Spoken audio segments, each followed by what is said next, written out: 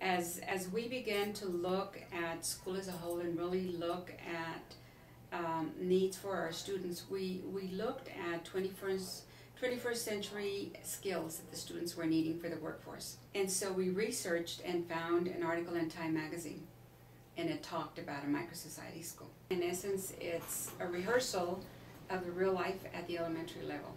A microsociety school is a setting where students operate their own little society and complete with businesses and the government component, which really makes it unique.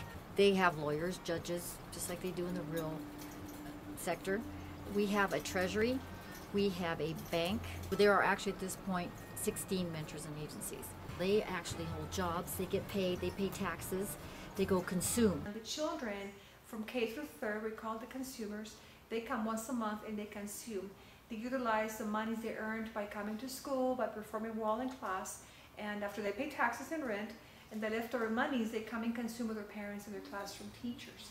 Is a day we do our, our regular classroom, self-contained with your teachers, but in the afternoon from 2 to 2.45, Tuesday, Wednesday, Thursday, Friday, the whole school goes into micro mode. Each venturing agency has to have a business plan. They've got the VP of marketing, production, human resource, and the finance. In fifth grade, I was with the hard drive, mm-hmm. and I was the treasurer, the CFO.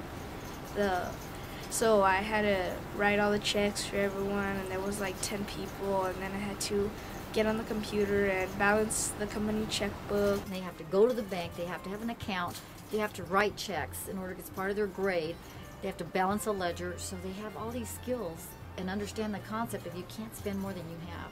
What makes a successful business is um, having everything organized, planning it out first. Go take um, surveys for the kids and ask them what what kind of food they wanted, what kind of drink they wanted. Maybe something we were gonna try new. We would go take surveys to different classes. I don't know if they I didn't know what they wanted, then I would just be lost. I wouldn't know what the, what to put out to um, help be successful in the business.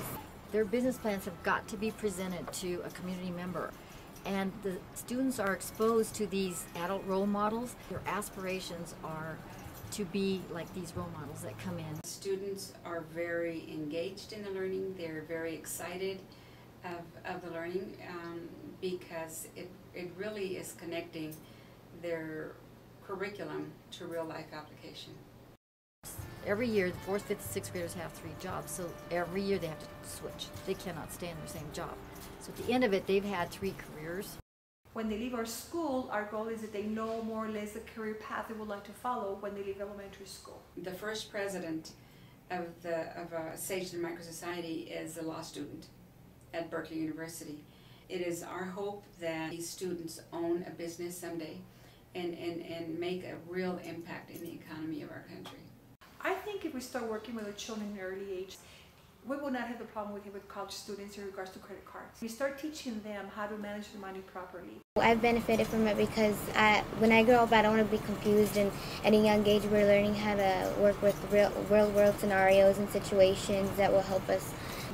I can learn how to work with money and how to keep it in check and not waste it on anything that's not important. That what's happening here is financial literacy at its best in action. You know, we talk about developing a school that we want our own children uh, to attend. And currently, I have my grandchild attending Sageland. She's in kindergarten. And she's there really because of the, of the great teaching, number one, and number two, because of the micro society.